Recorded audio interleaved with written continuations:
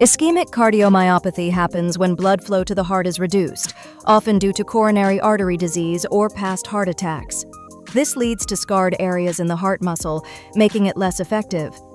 On the flip side, non ischemic cardiomyopathy has various causes, like chronic hypertension, alcohol use, genetic issues, or even viral infections. These aren't related to blocked arteries, but they can still impact heart function. Both types can cause shortness of breath, fatigue, and fluid retention.